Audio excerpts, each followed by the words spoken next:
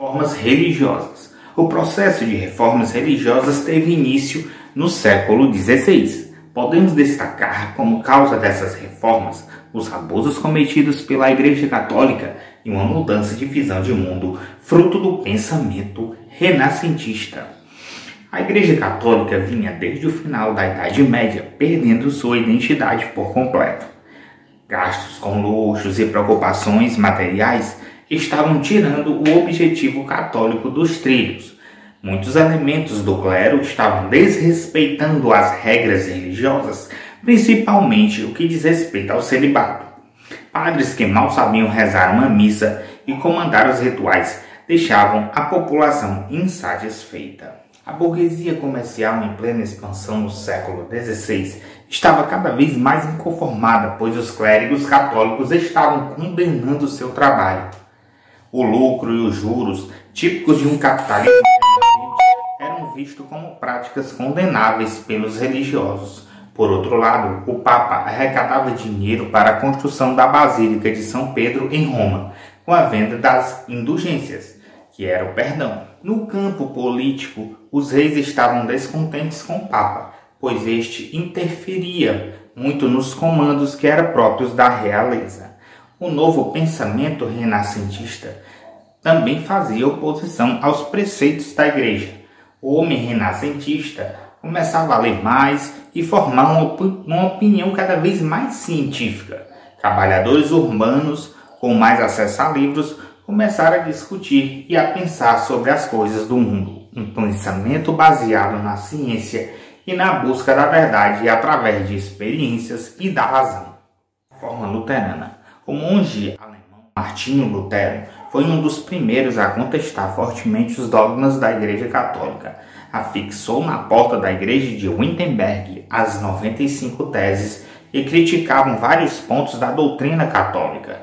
As 95 teses de Martinho Lutero condenavam a venda de indulgências e propunham a fundação do luteranismo, religião luterana.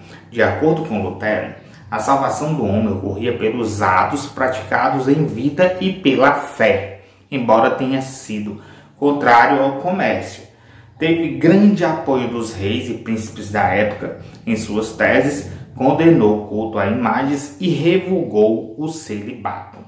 Martinho Lutero foi convocado a desmentir as suas 95 teses na Dieta de Works, convocada pelo imperador Carlos V em 16 de abril de 1521, Lutero não só defendeu suas teses, como demonstrou a capacidade e a necessidade da reforma da Igreja Católica. Uma calvinista. Na França, João Calvino começou a reforma luterana no ano de 1534. De acordo com Calvino, a salvação da alma ocorria pelo trabalho justo e honesto. Essa ideia calvinista atraiu muitos burgueses e banqueiros para o calvinismo. Muitos trabalhadores também viram nesta nova religião uma forma de ficar em paz com sua religiosidade. Calvino também defendeu a ideia da predestinação. A pessoa nasce com a sua vida definida. Como anglicana. Na Inglaterra, o rei Henrique VIII rompeu com o papado, após este se recusar a cancelar o casamento do rei.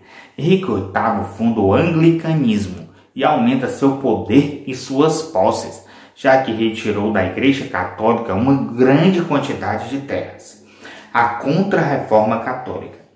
Preocupado com um avanço da perda de fiéis, bispos e papas, reúne-se na cidade italiana de Trento, Concílio de Trento, com o objetivo de traçar um plano de reação.